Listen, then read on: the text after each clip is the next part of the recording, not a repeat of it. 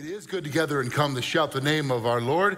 And I noticed some of you were trying to find space as you came in. It's been a long time since we had to make room for people. It's a good feeling. So I'm glad we make room for you and glad that you're here to worship with us. As I mentioned, uh, today is going to be a little bit different than usual. Let me, I'm going to need this the magic board. Yeah. If you're a guest with us or visiting, Typically, what we do is uh, we're, we're in a series on the Gospel of Mark called Following the King. We're taking a break from that series just for this weekend, as I mentioned at the outset, to do three things to look back at what God has done, to take stock of where we are now, and to look forward. In this section, we want to take stock of where we are. It's a good thing to look back, it's a good thing to remember. In fact, the Bible tells us that remembering is a spiritual discipline. Remember, we're forgetful people, we forget who God is. We forget who we are because of His grace. And so it's good to remember, individually and collectively, to tell the stories and remember the faithfulness of our God. It's also good for us to press pause and take stock of where are we? How are we doing as a church? How are you doing individually? We're not all in the same place. Some of you uh, are excited about things, quote unquote, getting back to normal. Others of us are still grieving, struggling. But as a church family, how are we doing? There's a lot of studies, you may not know this, there's a lot of studies being done right now about the church in the post COVID world. And not all the data is encouraging, quite frankly. And I, I think it's going to take some time to sort all that out and make sense of what that means. But we're not talking about the church in, the, in America necessarily or the church in the world. We're talking about this church, our church. Is Chapelstreet Church in a healthy place? And if we, if we are, how do we know that? How do we measure that? Well, typically, pastors and church leaders have measured health in two primary ways. You probably can guess who shows up and who gives money. And, and those things matter, That's, they're good to count, but they're not the only things that count and not the only metrics that tell about the health of a church. So we're going to look at our, our church. I'm going to share some information with you. And we know we're a large church across four campuses, and perhaps you don't always know. Maybe you just trust, or maybe you wonder, how are we doing? We're going to look at some, some data that might give us a picture of how we're doing financially, organizationally, and spiritually, missionally. So, first, financially, how are we doing financially? Now, those of you that like numbers, you're going to get excited. Others of you, uh, maybe that struggle in math like I did, your eyes are going to glaze over. Don't do that because these numbers matter and they, and they honor God. Over the last two years, we have seen more generosity and, than ever before in the history of our church. I want to pause there. Over the last two years, during a global pandemic with so much uncertainty, we've seen more generosity than ever before in the history of our church. Praise God. And thank you to so many of you. I want you to know that's not lost on us as church leaders. Inside this yellow dotted line, that's money given in over the last two years. Outside those four uh, little icons around the perimeter, that's money given out over the last two years. Let me put this on the right color because we can't have red because we're not in the red. So this is money given out over the last two years. Over the last two years, we have given away more than $2 million outside of our walls to the work of God uh, in our local and global partners. That's unprecedented. This thing called Serve the World up here in the upper left hand corner. I remember years ago when our missions budget used to be part of our general fund budget, we were always wrestling with how much of our missions budget should we give away. We decided to take it out of our regular general fund budget and, and make a different category called Serve the World, giving to the work of God locally and globally, separate from our general fund budget. We were nervous. Oh no, would it reduce the amount of money we give to missions? It's exponentially increased it. It's remarkable to see what God is doing. In the lower uh, right hand corner, neighborhood church generosity. This refers to the fact that this past December, our church family, many of you, were more generous than we had expected or planned, far more generous in one month, the single largest month in the history of the church. So we decided before God, we should be more generous than we had planned. And so we picked uh, several local churches, local in terms of in our area and local churches in other parts of the country and world to give money to. I would call these pastors and say, What do you need? And they thought I was asking, uh, How can we pray for you? Which we did. We are praying for them. How fun and exciting and what a blessing it was for me to be the voice to say, We want to bless you. We want to give you a gift to meet that need. They weren't even asking for it, but they were praying about it. Your generosity is producing that. I wanted to tell you that story. And one of the healthiest metrics is this. Over the last two years, 484 people for the first time making a financial contribution to the work of God here. If that's you, thank you. Your giving honors God, and it's making a difference around the world and right here. Now, for, to, to those of you who are faithful givers, again, thank you. It really is making a huge difference. Sometimes you look at big numbers like this and you think, well, what, what difference does, I don't have those kind of resources. What difference does my gift make? These two, $2 million given away, meeting our general fund budget, all of these things, that's the result of the collective people of God in this community being generous.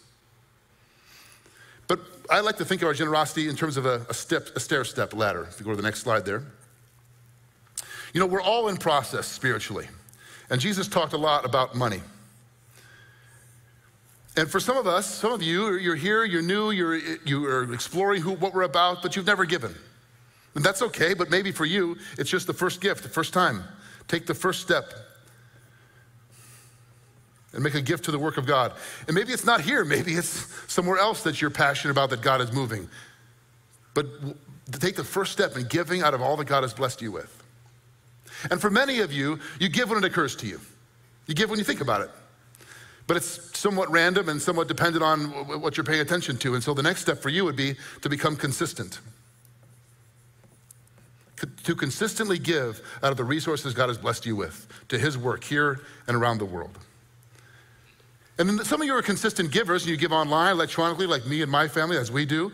But perhaps for you, it's to think more prayerfully and intentionally about how much and to become what we call a proportional giver.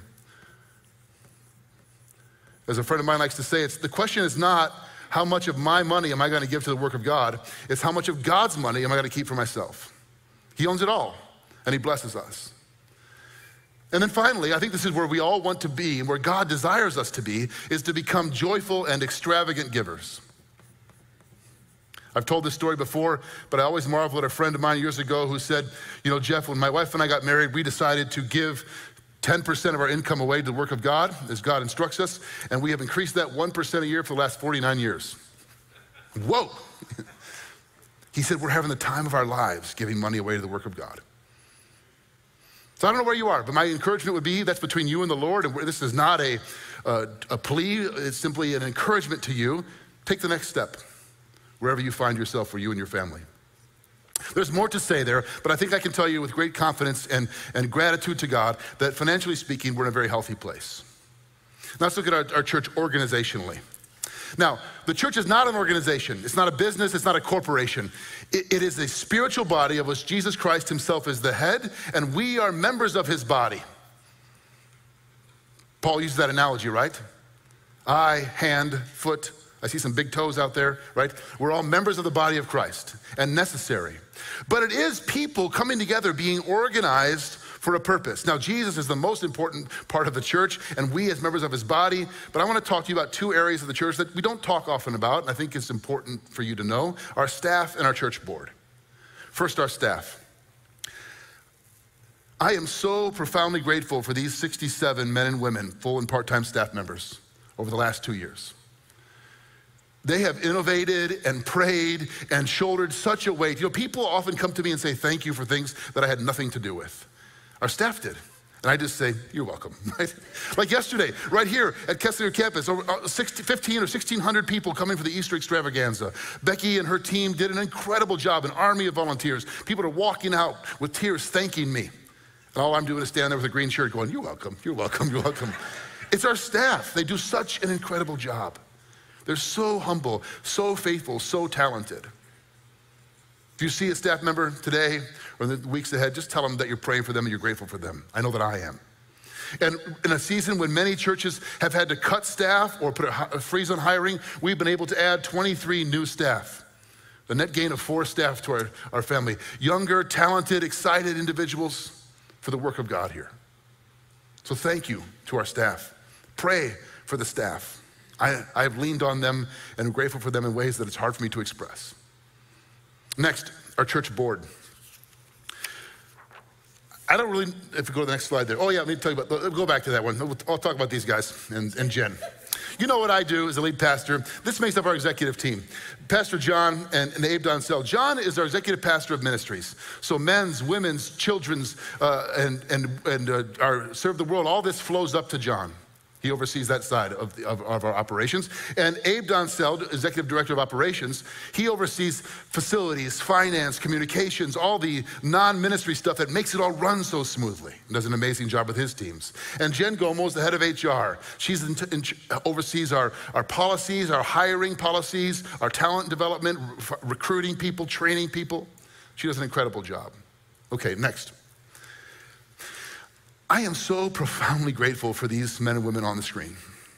They're not staff, they don't get paid. They give up their time. They're, they are my bosses. Well, Jesus is my boss, but he's using these people to lead me as I seek to lead our staff to shepherd all of you. I, I have leaned on them. We've had so many emergency Zoom call meetings. How are we going to respond to this crisis? How are we going to handle this issue in our culture? They pray for me, they challenge me, they encourage me. And I don't, they don't get a lot of credit. They don't ask for it. But I want you to see their names and faces so that you know them. They're elected by our church membership. Uh, they serve on three year terms. They're not people that I appoint, but I am so grateful. I'm so dependent on, on them in so many ways. I want you to know who they are so you can see them and pray for them and thank God for them as I do. So, organizationally, there's more that we could say. But we're not a perfect church. There's no such thing as a perfect church. Do you know why there's no such thing as a perfect church? Because people are in churches. And if you find a perfect church, you should not go there because you'll be the one to mess it up, right? we're, a, we're a collection of broken people doing the best we can and depending on God's grace. But I can tell you with great, great gratitude and confidence that organizationally, we're in a healthy place. Let's look at how we're doing spiritually or missionally. We could spend hours telling stories about people experiencing God's grace, growing in faith, and making an impact. That's the way we talk about the life that Jesus wants us to live around here. But I want to look at a few numbers that are connected to those stories to give you a picture. We could fill all of our time doing this. This is really just a, intended to be a snapshot of a few highlights. Over the last two years, during a global pandemic, 257 people have gone through Rooted. This is the 10 week course that we really believe in that helps people understand the life of Christ in our context. And many of you have been through Rooted, hundreds before the pandemic, and do, people are in it right now. And if you're looking for the next step here where you want to get connected and really begin to grow, I would encourage you reach out to Pastor Joe Scavato and join a Rooted group. It's worth it. Many of these people were meeting when we could not meet in person. There were Zoom rooted groups that uh, were growing in Christ together, and they wanted to have a baptism service. So they invited me over to a, a Gretchen's pool, and with masks on, we did a baptism service in her backyard during the pandemic in her pool because God was working even online. Speaking of online, we had never streamed a service in the history of our church before, ever before the pandemic, before it's two years ago. We had planned to do our first one at Easter 2020, and then the world shut down. We had to do it a month early. Our, our tech teams and our production teams scrambled to, to get prepared, and they have done an amazing job over the last two years. I talk to many people who I meet out in the community who say, hey, we're still watching, or who thank me because they can't come in person for health reasons or they're shut in. And they say, the online services are a lifeline to us. Please don't stop doing that. And so if you're watching this and that's you, don't worry, we're not stopping. Now, I would just say this online worship services are not a replacement for in person, they never will be but they are a very good supplement to that, and God is using that. Many of these new connections, 3,000 new connections to Chapelstreet Church, found us online first. Many, many of them. I, I, watched, I got a sense for who, this, who you are as a church, and then we came in person. God is using that in ways we've never seen before. And then we launched a campus during a global pandemic, which at times we wondered, are we crazy? Well, Paul says we are fools for Christ, so maybe we are, right? But I had pastor friends that say, You're launching a campus, are you sure that's the right time? And God is blessing it. There have been challenges, but God is blessing that. It's growing. I meet, I talk to people who are new there every week. So we could say a lot more about this. But God is on the move here. And that's, again, I hope you don't hear this as look at, look at how great Chapelstreet is. That is not the intent. The intent is to answer the question how are we doing? How are we doing as a church? To give us, as church, as members of God's body here, a glimpse of how we're doing for the purpose of what He wants to do in us. God doesn't bless His people just for their own benefit, but for His glory and purpose in the world, which we'll talk about in a few moments. Last, if we go to this slide, I like to think of our church in, in four buckets. I'm a visual learner. Maybe you'll enjoy this. I'm going to draw some buckets, and you think about which bucket you're in. Over the last two years, there are people that have become more engaged, more engaged in their faith, more connected to Christ, more on mission in their life, more loving toward their neighbors, more digging into the Word of God, and more engaged with the work of God in the local church. Maybe that's you. I know it's many of you. Way to go. Keep it up. We're cheering you on. There are also people over the last two years in our church family who have become less engaged.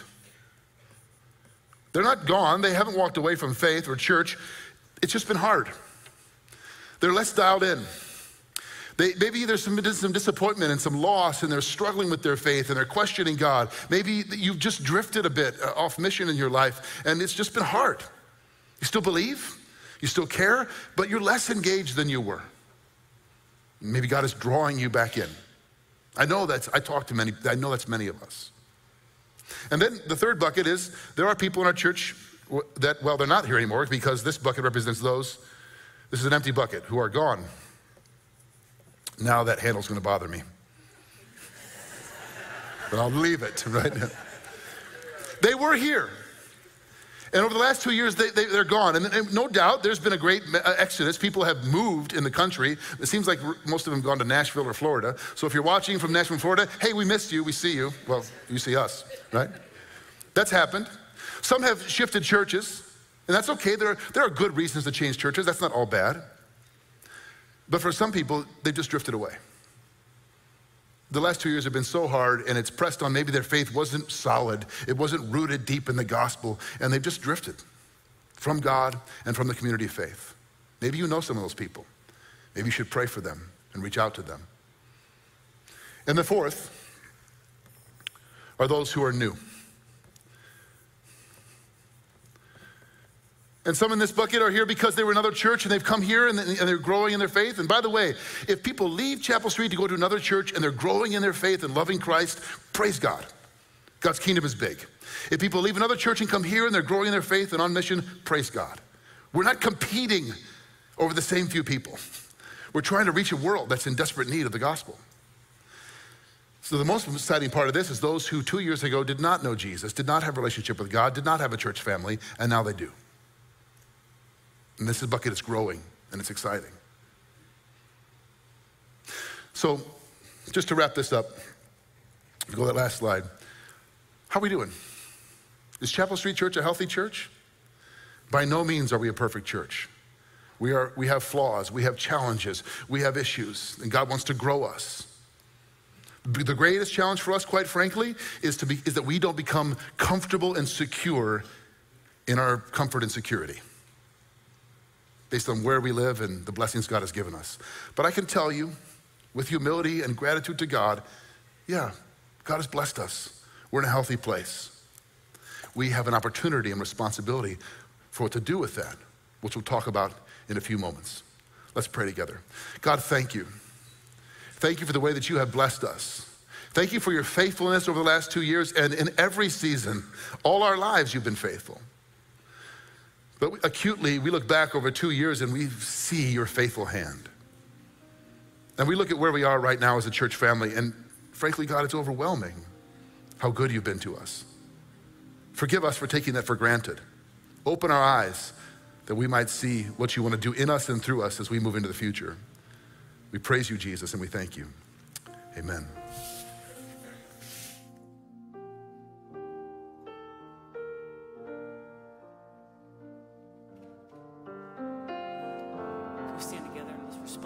What God has done, His great faithfulness.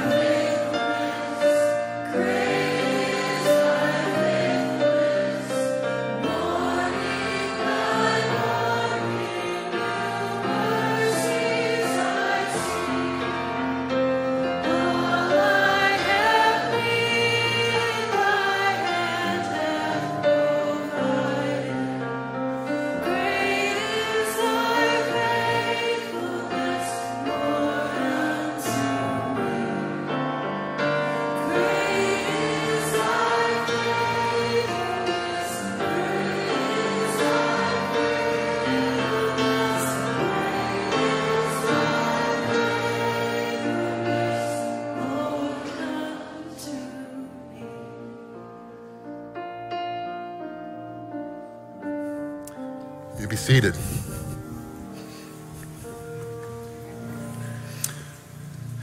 It's my, my wife's favorite hymn. We sung it at my wedding, and so I always get a little, a little emotional singing that song. Strength for today and bright hope for tomorrow. Blessings all mine and 10,000 beside, the hymn says. Strength for today, we've looked at that, and bright hope for tomorrow. What, what is the bright hope for tomorrow for the church? There's a lot of talk in the culture right now about getting back to normal. I understand that. And I will admit that I've enjoyed watching the NCAA March Madness tournament with fans in the arenas and feels more like normal again. I like that. Getting back to school, getting back to work, getting back to life as we used to know it. But I'm not sure as it relates to the church that getting back to normal ought to be the goal. I think perhaps God has something better for us than just getting back to business as usual. I think He wants something more for us. Some of you will know the story in Matthew 16 when Jesus is with His disciples and he asks them, what are the, Who do the people say that I am? It's his way of saying, What's the word on the street about me? And they respond, Well, some think you're John the Baptist, which is interesting because John the Baptist has already been killed, come back to life. Some think you're Elijah, some think you're one of the prophets. Basically, they don't really know, but there's a lot of talk. There's a lot of buzz about you, Jesus, and a lot of opinions, but they're not exactly sure who you are. And then Jesus makes it personal. Do you remember this? What about you? Who do you say that I am? Peter, being Peter, speaks up You're the Christ. You're the Son of the living God. Jesus says, Bingo. He doesn't say bingo, it's not in the Bible, right? But he says, You got it right. Exactly right. And then he says something remarkable. He says, And you're blessed, not because you're so smart and you figured it out, because you didn't get this on your own. This was revealed to you by my Father in heaven. This is spiritual knowledge. To know me, to know who I am, to understand my identity and my mission in the world is not something that a human mind just figures out on its own. God opens our eyes. And then Jesus says, Blessed are you, Simon Bar Jonah, son of Jonah. And I will, you are now Peter, he says. The rock. That's what his name means. And on this rock, not Peter himself, but the rock of his confession in Jesus Christ, I'll build my church. Jesus uses this question about his identity. Well, who do the people say that I am? Who do you say that I am? And Peter's confession to talk about his church. I will build my church. And then he says something that you may remember. And the what? And the gates of. Oh, nobody likes to say the word hell out loud in church, right? And the gates of will not prevail. I want to pause on that phrase. Jesus says, I, he will build his church on what Peter has just said is true that Jesus is the Christ, the Son of the living God. He is the rock, He is the foundation on which the church is built. Chapelstreet Church and any church that proclaims the name of Jesus and preaches the gospel uh, and the, and the Word of God, that's the church Christ is building in the world. Looks different in different places. Uh, we all come together and make up His church. He's going to build it. And the gates of hell will not prevail. Who has the gates? The gates of? I know, I'll make you say it again. The gates of hell. Hell has the gates. We think of heaven as the gated community, right? The pearly gates. We think of the church as the gated community. Keep all the bad people out and the good, nice people like us in, right? That is not God's vision for the church at all. His vision for the church is not people that look like me, vote like me, walk like me, talk like me, live near me, my people inside of my holy huddle. That's a corruption in our, culture, in our country that we've made of the church. Jesus' vision for the church is something he's building that is going to be kicking down gates, apparently, advancing in the kingdom, knocking down walls. Where are the gates of hell? Interestingly, Jesus said this while he was in a place in Caesarea Philippi at the mouth of a cave that they refer to as the gates of hell. Like the literal manifestation of this imaginary first century mind of the forces of evil in the world. That's what he means. He's talking about the, the powers of darkness in the world, and it's not hard to find them, is it? Just look at your social media feed, turn on the news. The places where people are oppressed and exploited and harmed, all around the world, right next door. The people of God should be going there, should be praying about that should care about what God, what God wants to do there. Every tribe, nation, tongue, race, culture, creed come together, redeemed by the blood of Jesus, brought into his family as his church, and then sent into the world. By the way, when Jesus says, I'll build my church, that's the first place the word church shows up in the New Testament. And do you know what the Greek word is? The word ecclesia. The, the root word of that is the Greek word kaleo. It means to be called. So the church are those people who are called out of the world. God calls his people out of the world, changes us by his grace, and then sends us back into the world. To be to belong to the church is to be both called and sent, called out and sent to. That's the church. So, as we think about the future, perhaps you're expecting some grand vision. I'm not going to talk to you about how many campuses. I'm not going to talk to you about numbers and growth. I want to talk to you about what I believe God wants for your heart. What are we getting back to? What's He after? Why these remarkable blessings financially and spiritually and missionally and organizationally? Not because we deserve it. Not even because we've done things right. We certainly have it, haven't at times. But because God wants to do something in us. He wants to do something in the world through us. If you belong to Jesus, meaning you've trusted Him for the forgiveness of your sins, you've turned over your life, doesn't mean you're perfect or you have it all together, and none of us do. And maybe you're sitting here going, ah, sent to the world, I can hardly hold my own life and family together. Do you know what the very you know what the best thing you have to offer to a broken world is? Your own relationship with God. Remember back to our series in, in Mark, Mark 10, Jesus has asked the question What's the greatest commandment? The greatest is to love the Lord your God with all your heart, soul, mind, and strength.